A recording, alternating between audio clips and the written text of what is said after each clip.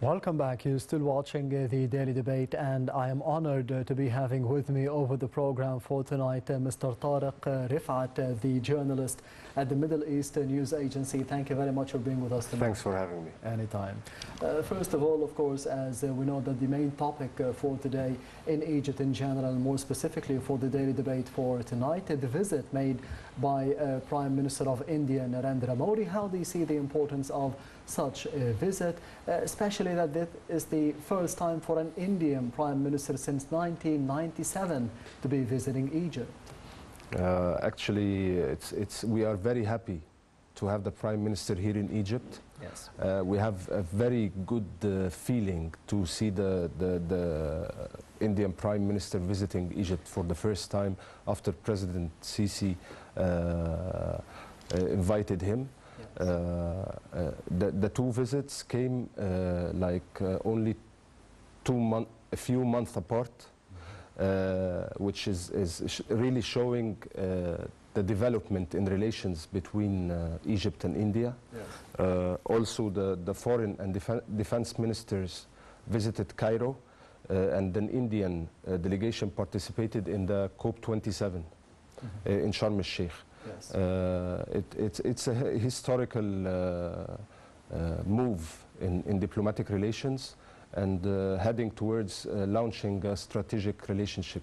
Yes, uh, today we have seen uh, at the summit talks between His Excellency President Abdel Fattah al-Sisi and the Indian Prime Minister exactly what you said, raising the level of relationship between Egypt and India into a strategic partnership. What does this mean? What is the difference? Uh, actually, uh, we will have uh, more economic integration. Yes. Uh, we will have uh, a strategic partnership to raise uh, relations and have more in, uh, economic in- integrations uh, amid very harsh global challenges uh, in climate change, uh, food crisis, uh, and this, this will help both co- developing countries uh, overcome this period.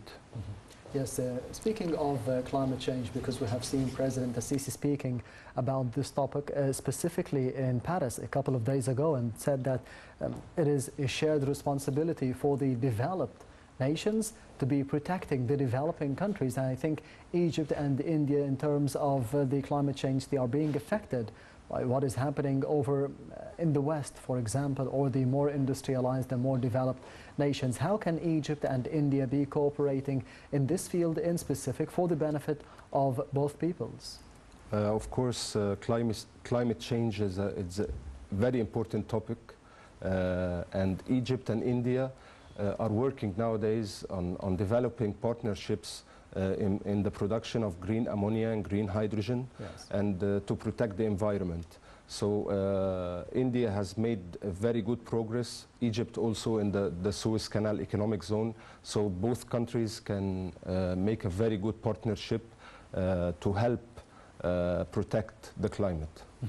Yes, uh, you mentioned that uh, there is only a few months between the visits of His Excellency President al-Sisi to India and, on the other hand, the visit of the Indian Prime Minister to Egypt, Narendra Modi. So, speaking of foreign relations in general, this file under the tenure of His Excellency President al-Sisi, how would you evaluate it, especially with uh, Foreign Minister Sameh Shukri at the helm? Uh, I evaluate uh, President Sisi's uh, uh, foreign relations uh, very strong uh, with uh, India. It's, he, he boosted the relationships, 75 years of, of relationships. Uh, it's boosted now and upgraded to a strategic partnership. Uh, so uh, President Sisi attended the Republic Day uh, a couple of months ago uh, in India, and now the, the Prime Minister is here. Uh, he visited uh, many places and met with several senior officials, uh, and we are expecting a, a, very big boom in investments and tourism and during the coming period. Yes. You mentioned uh, two important topics investments or the economy in general, and tourism, which is uh, very interesting nowadays because Uh, we have seen today the Indian Prime Minister at the Giza Pyramids. A couple of days ago, we have seen Pep Guardiola, the Manchester City manager, as well at the Pyramids. So, what does this say to the outside world, especially that we are living in the age of social media, Instagram and Facebook, and photos all over the world seen by Pep Guardiola and today by uh, the Indian Prime Minister Narendra Modi. And speaking of the potential markets in Spain, for example, and India, which is a big market for tourism, how can this be um, in the benefit of Egypt? Yes, uh, actually, uh, the, the Indian Prime Minister uh, said yesterday to Dr. Mustafa Madbouli Yes. that even uh, an ordinary visit uh, can can help boost investments. Yes. Like for instance, you you you come here to Egypt just as a visitor or, or a tourist, Yes. and then you make some connections, you make some friends, and and you ask to meet some government officials to help open maybe a, a, a good business here, which helps the Egyptian people and also the investor. So uh, we have uh, we have uh, around uh, 38,000 Egyptians working uh, in, in Indian companies here. Uh, direct uh, job opportunities are provided through uh, 50 Indian companies Yes. who are investing billions of dollars here in Egypt. Uh, of course, they are be- benefiting from these investments, and they see uh, uh, investing in Egypt uh, is a golden opportunity for for a- any company from any country. Yes, how can we be increasing the volume of uh, trade exchange for not just the Indian market, but in general for anyone who wants to be coming and investing into Egypt?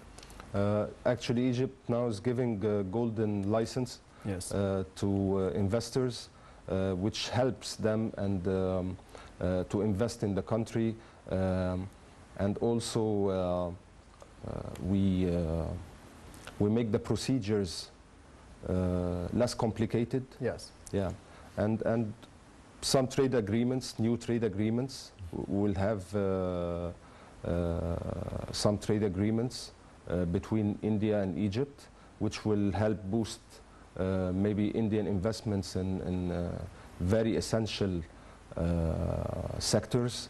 Uh, when it comes, if we talk about climate change, uh, like e-vehicles, for example, uh, IT, we, we can really benefit from, from in, in uh, the Indian companies in those two sectors mainly. Yes, uh, Mr. Tarek uh, Refaat will be heading to a short break and we'll be returning once again to you on the daily debate. So stay tuned.